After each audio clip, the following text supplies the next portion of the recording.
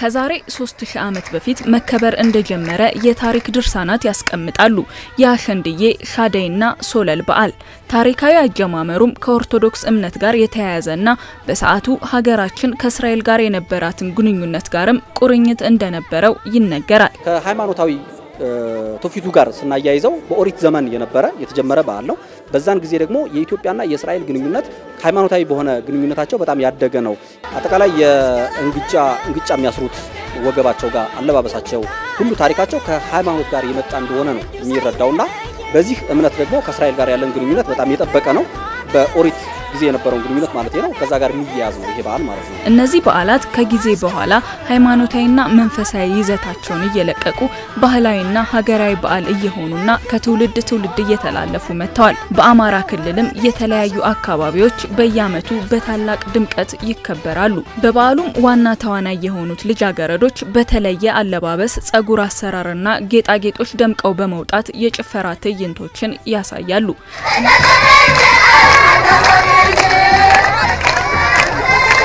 የሻደይ አሸንድዬና ሶለል በዓል ለሴቶቹ ትልቅ ትርጉም አለው። ይሄም ዋና መሪ ተዋናዮቹ ሴቶች ናቸው። ሴቶቹ መሪ ተዋናይ ናቸው ማለት ደግሞ በሌሎቹ ተግባራትም ሴቶቹ ከወንዶቹ ባልተናነሰ እኩል መምራት፣ እኩል መንቀሳቀስ፣ እኩል አስተዋጽኦ ማድረግ እንደሚችሉ ከሚያሳዩት በዓላት መካከል አንዱ ይሄ ነው። ለምን በአብዛኛው ይሄ በዓል ተጠብቆ እንዲቆይ እስካሁን ድረስ ያደረጉት ሴቶች ናቸው ማለት ነው። የሴቶቹ በዓል የልጃገረዶች በዓል ነው የሚባለው። ወንዶቹ ደግሞ ያጅባሉ ማለት ነው።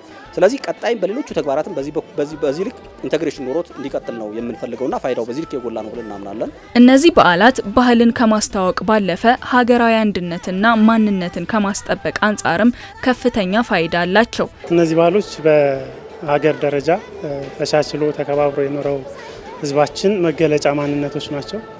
ይህ ባህል በአንድ ክልል ብቻ የሚከበር ሳይሆን በአብዛኞቹ የሀገሪቱ ክልሎች ላይ የሚከበር ከዚያም አልፎ ከጎረቤት ሀገር ኤርትራም ጭምር የሚከበር ባህል እንደሆነ የታሪክ ድርሳናት ይናገራሉ።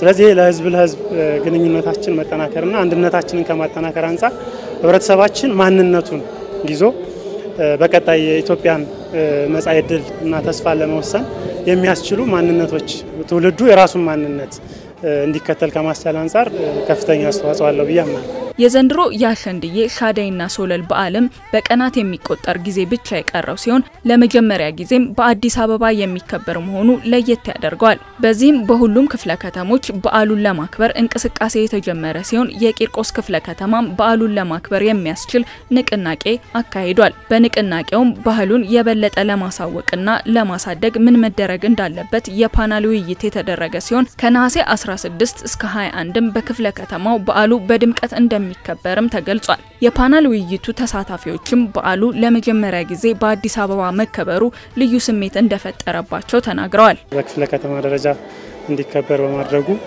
ያው እንደ ተወላጅ የተሰማኝ ደስታ ከፍ ያለ ነው።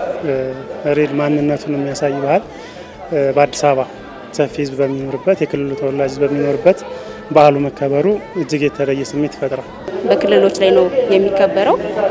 ብዙ ጊዜ እኛ የምናየው በሚዲያ ውስጥ ነው። እዚህ አዲስ አበባ ያሉት ሴቶች በአደባባይ ላይ ነጻነታቸውን ማክበር አለባቸው።